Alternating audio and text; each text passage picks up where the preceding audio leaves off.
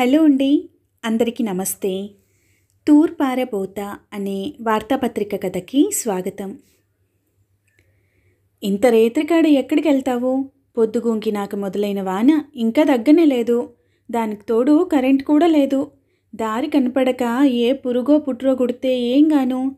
నా మాటిను కాసేపు అయితే తెల్లారుద్ది. అప్పుడు వెళ్ళొచ్చులే. ఆగిపో. ఉరుములతోనూ మెరుపులతోనూ మిరుమిట్లు గొలుపుతున్న ఆకాశాన్ని చూస్తూ చెప్పింది శాంతమ్మ. చూరులో ఉన్న గోనెపట్టాన్ని తీసుకొని తల తడవకుండా చిన్నపాటి గొడుగులాగా చేసుకుంటున్న మల్లేశం ఆమె మాటలకి చిన్నగా నవ్వుతూ నాకు ఊహ తెలిసినప్పటి నుంచి ఇదే పని. తాతతో కలిసి వెళ్ళాను మా నాయనతో కలిసి వెళ్ళాను సేలో తిరిగాను గట్టున నడిశాను. ఇట్లాంటి ఆటుపోట్లు ఎన్నో తట్టుకున్న నాకు ఇదో లెక్క అన్నాడు. నీకు నవ్వులాటగానే ఉంటుందిలే. నువ్వు వెళ్ళి తిరిగి వచ్చేదాకా నా పై పైనే పోతున్నాయి. అయినా రేత్రి పొగులు ఆ మడిసెక్కలో బడి దొరలడం తప్పితే ఇన్నాళ్ళు సాధించిందేముంది? ఇక పైన సంపాదించేదేముంది?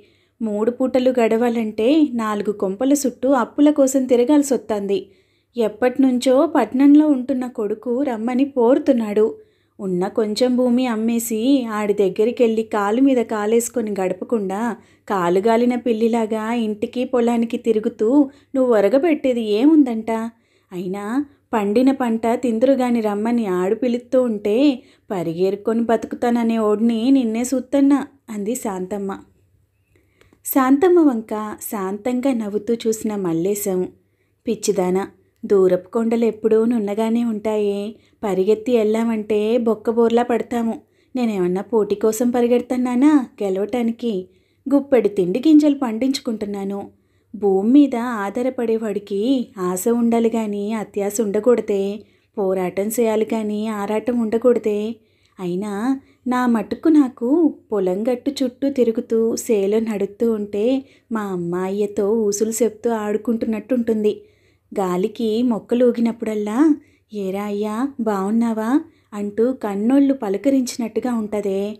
అయినా మనం కన్నోడు రమ్మన్నాడని మనల్ని కన్నోళ్ళని ఇడిచిపెట్టి వెళ్తే ఆ పాపం ఊరికే పోదే అన్నాడు బయటకు నడుస్తూ మల్లేశం. "ఆ, ఈ జాదత్ ఏమీ తక్కువ లేదు. కొంచెం కదిపిస్తే చాలు. మా తాత మా అయ్య అంట ఇంత పొడుగు కథలు చెప్తావు. పెద్ద ఏదో జమ్ముందారులైనట్టు నేను కాపురానికి వచ్చినప్పటి నుంచి అదే తూర్పారిపోతా.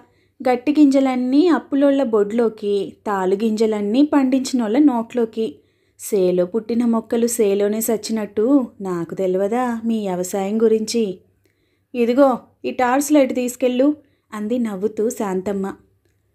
కొడుకు మీద బెమ తిరిగిందా ఏమిటే? అన్నాడు టార్చ్ లైట్ అందుకుంటూ మల్లేశం. యాభై దాటిన శాంతమ్మ ముఖం పైన ముడతలు మెరుపుల వెలుతురులో కొత్తగా కనిపిస్తున్నాయి. సూత్రాల బరువు లేని పసుపు తాడు వెనక్కిపోయి మెడకేదో తాడు బిగించినట్లుగా ఉంది. నిద్రలో చెదిరిన కుంకుమ బొట్టు ముఖమంతా పరుచుకొని మందార పువ్వు రేఖలు అక్కడక్కడ అతికించినట్టుగా ఉంది.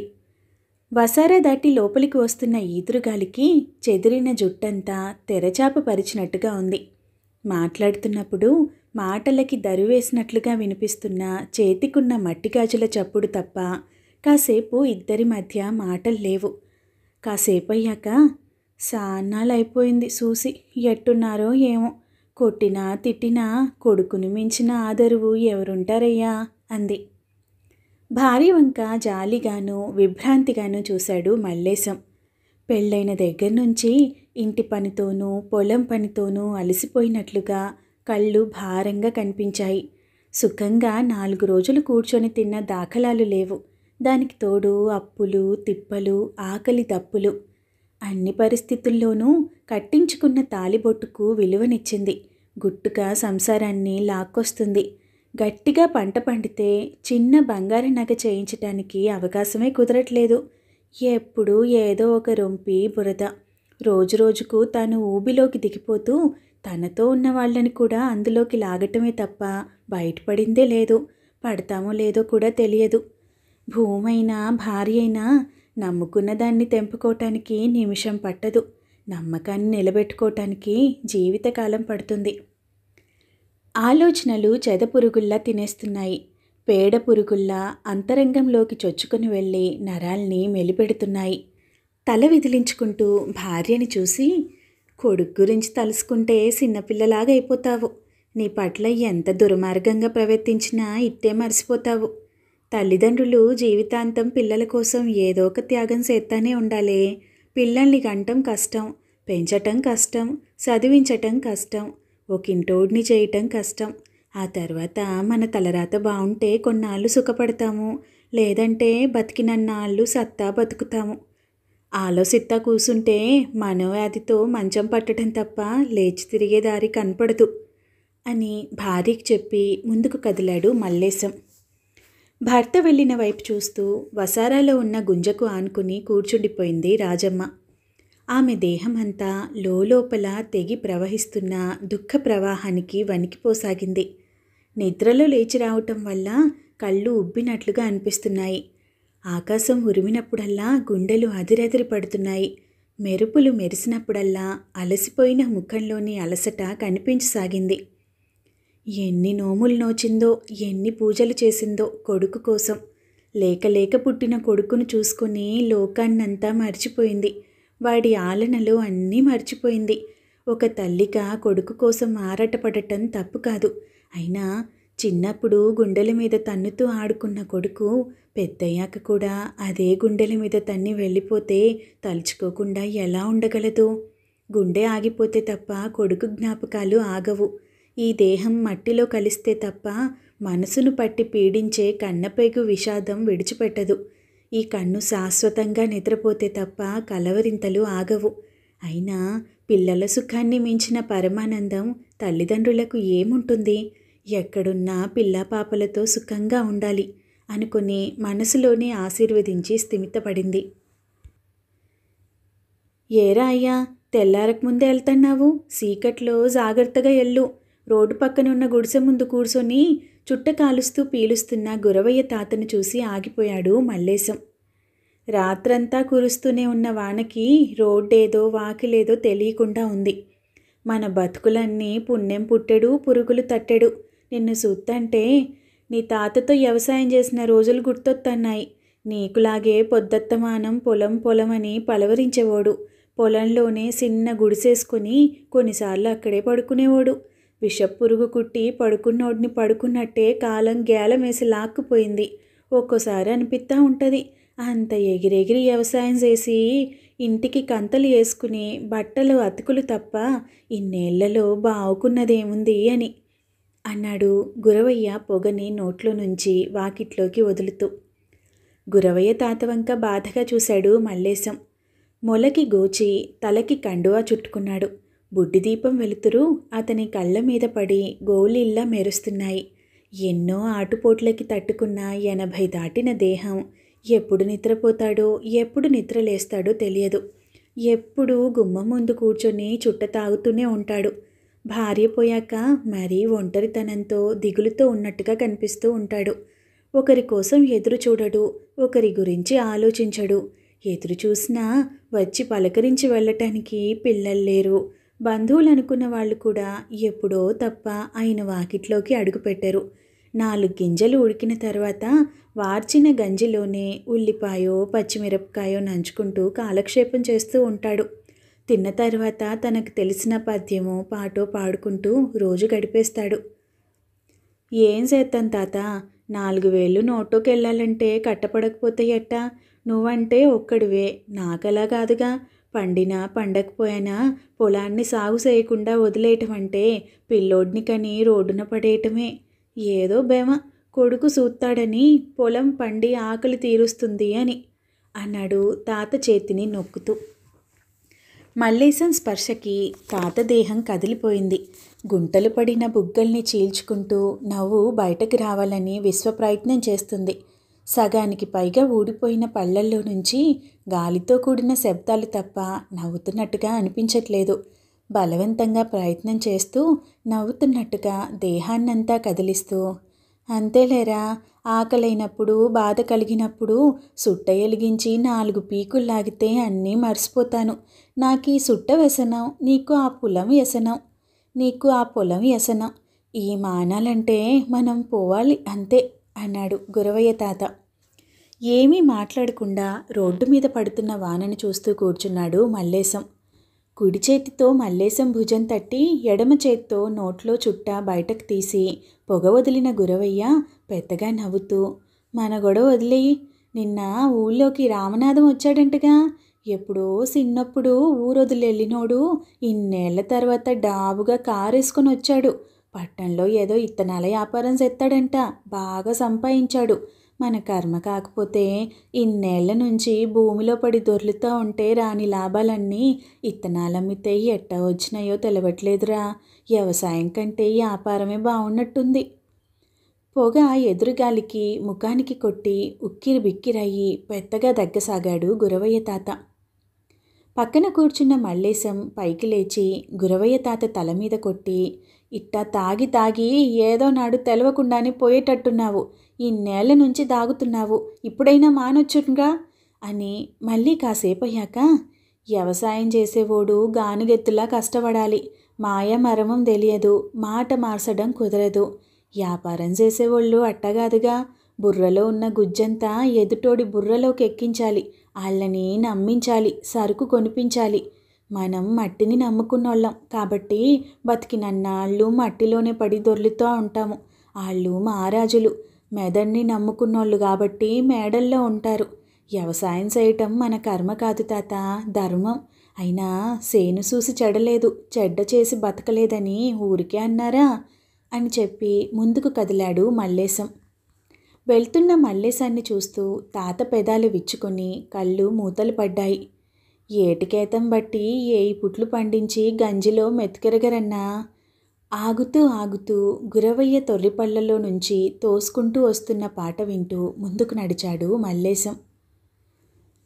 నిద్రలో నడిచినట్టుగా ముందుకెళ్తున్నాడు మల్లేశం. అలవాటైన దారి అయినా వాన వల్ల గుంటెక్కడో మెరకెక్కడో తెలియకుండా అడుగులు పడుతున్నాయి. మెరక ఉందనుకొని అడుగేసి ముందుకు తూలుతున్నాడు. గుంట ఉందనుకొని దాటబోయి పట్టు తప్పుతున్నాడు. తల వీపు తడవకుండా కప్పుకున్న గోనె సంచి గాలికి ఎగిరిపోకుండా రెండు శివర్లను చేతితో గట్టిగా లాగి పట్టుకోవటం వల్ల వేళ్ళు నొప్పి పెడుతున్నాయి. చిన్న బజారు పెద్ద బజారు దాటి మెయిన్ రోడ్డు మీదకు వచ్చేశాడు. ఆ రోడ్డు దాటి కొంచెం ముందుకెళ్తే అటు ఇటు పొలాలు. రోడ్డు మీద తప్ప అడుగు పక్కన పడుతూ ఉంటే కాలి నిండా బురద అంటుకుంటుంది. బొట్టన వేలికేదో తగిలినట్లుగా నొప్పి పుట్టసాగింది. మోకాలి కింద నుంచి పాదాల వరకు ఏదో ముళ్ళ కంచె గీరుకున్నట్లుగా అనిపించసాగింది. కానీ మల్లేశం దేన్ని పట్టించుకునే స్థితిలో లేడు. పరిశోధనలో నిమగ్నమైన శాస్త్రవేత్తలాగా తదేకంగా ఆపరేషన్ చేస్తున్న డాక్టర్లాగా పరిసరాలని పట్టించుకోకుండా ధ్యానముద్రలో ఉన్న మునిలాగా అతని దృష్టంతా చేను చుట్టూనే తిరగసాగింది. ఇంటికి వచ్చే ఈ పంట మీద ఎన్నో ఆశలు పెట్టుకున్నాడు. ఈ పంటను చూపించి ఎంతోమంది దగ్గర అప్పులు చేశాడు చేయబదులు తీసుకున్నాడు. వాళ్ళ అప్పులు తీర్చగా ఏమైనా మిగిలితే ఏదో చేయాలని ఆశపడ్డాడు. కానీ పరిస్థితి చూస్తూ ఉంటే ఆకాశమంతా అమావాస్య కమ్ముకున్నట్టుగా మారిపోయింది. దూరంగా కనిపిస్తున్న పొలాన్ని చూస్తూ గట్టు మీద నడవసాగాడు మల్లేశం. గట్టుకు రెండు వైపులా ఉన్న చేలన్నీ మోకాళ్ళలోతు నీళ్ళల్లో మునిగిపోయి కనిపించసాగాయి. ఒక నెలలో చేతికి రావలసిన వరి కంకులన్నీ కుప్పలు కుప్పలుగా బిగించి కట్టినట్టు వాలిపోయి నీళ్ళల్లో తేలుతూ కనిపిస్తున్నాయి. తన చేనసలే పల్లంలో ఉంది. పంట మొత్తం నీళ్ళల్లో మునకలేస్తూ ఉండుంటుంది అనుకున్న మల్లేశం వణుకుతున్న కాళ్ళతోనే చేల్లో ప్రవేశించాడు. గుండె బద్దలైంది. చేలో దిగి వెర్రిగా అరుస్తూ ఆ చివరి నుంచి ఈ చివరి వరకు నడిచాడు. పడిపోయిన వరి పైరుని చేత్తో పట్టుకొని నిలబెట్టే ప్రయత్నం చేశాడు. కంకుల బరువుకు మళ్ళీ నీళ్ళలోనే వాలిపోతున్న పంటను చూసి మల్లేశం ప్రాణం సోలిపోయింది. కనీసం కొంత నీరైనా బయటకు పోతే ఎంతో కొంత పంట మిగులుతుందనే ఆశతో చేలో ఓ మూలకు వెళ్ళి గట్టు తెగ్గొట్టాడు. మెరకపల్లం కలగలిసి ఉండటం వల్ల నీళ్ళు కొద్ది కొద్దిగా వెళ్ళసాగాయి. కొద్ది కొద్దిగా వెళ్తున్న నీళ్ళను చూస్తూ మనసు బరువుగా అయిపోయింది. అయినా తన వెర్రిగాని అలా ఎంతసేపు చేయగలడు? జరిగేది జరక్క మానదు. నష్టమో కష్టమో అడుగు ముందుకేశాక ఆలోచించకూడదు. పొలం వంక చూస్తూ గట్టు మీద కూర్చున్నాడు మల్లేశం. అప్పుల కొండలతో పాటు దిగులు బరువును మొయ్యాలంటే ఇబ్బందిగానే ఉంది. తనలో తానే మాట్లాడుకుంటూ తనకి తనే ధైర్యం చెప్పుకోసాగాడు. వాన ఉధృతి తగ్గింది. కళ్ళ ముందు మసప్ మసక్గా వెలుగు రేఖలు పరుచుకుంటున్నాయి. వాన ఉధృతి తగ్గింది. కళ్ళ ముందు మసక మసగ్గా వెలుగు రేఖలు పరుచుకుంటున్నాయి. పైకి లేచి ఒకసారి పొలం వంక చూశాడు. పది లంఘనాలు చేశాక నిలబడే ఓపిక లేనట్లుగా ఎటు పడితే అటు పడిపోయిన రోగిలా కనిపించింది పొలం. భుజాన తుండుగుడ్డతో ముఖం తుడుచుకొని ఇంటికి బయలుదేరాడు. దారంతా వరద బురద. ఎంత జాగ్రత్తగా నడుస్తున్నా ఎక్కడో ఒకచోట బురదలో కూరుకుపోతున్న కాళ్ళని చూసి వ్యవసాయం ఎంత జాగ్రత్తగా చేసినా చివరకు మిగిలేది బురదేనన్నమాట అనుకుని నవ్వుకున్నాడు. దారి పక్కనున్న చేతి పంపు దగ్గర కాళ్ళ కంటిన మట్టిని శుభ్రంగా కడుక్కొని ఇంటి దారి పట్టాడు.